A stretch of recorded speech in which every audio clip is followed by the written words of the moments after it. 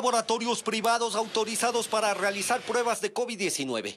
Los ciudadanos acuden diariamente, sea por alguna sospecha de tener la enfermedad o también por prevención. En Quito, estos establecimientos tuvieron un tope de atenciones entre julio y agosto, meses en los que hubo mayor número de casos. En el mes de julio o agosto estamos hablando como que diariamente había unas 30, 40 llamadas para, los, para las pruebas y ahora pues tenemos unas 10 eh, llamadas en el día para las pruebas. Pero la reducción no es cuestión de este laboratorio.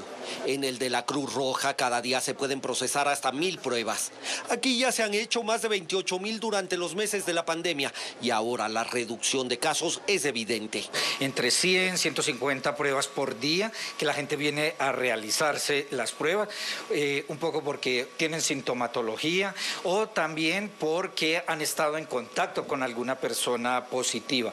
Varias son las posibles explicaciones que tienen los expertos para esa disminución. Puede ser que el índice haya bajado notablemente de contagios y el otro que simplemente las personas eh, con con la crisis económica que se ha dado en el país, pues únicamente opten por eh, hacer cuarentena en sus casas, en sus domicilios y no optan por hacerse las pruebas de confirmación.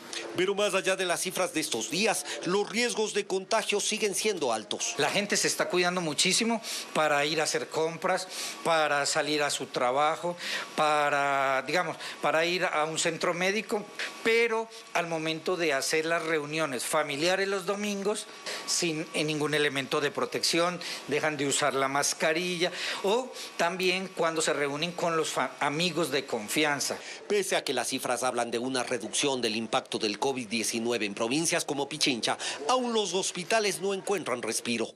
Según el último informe de la Secretaría de Salud del municipio de Quito, el 95% de las camas de cuidados intensivos para COVID en la capital están ocupadas.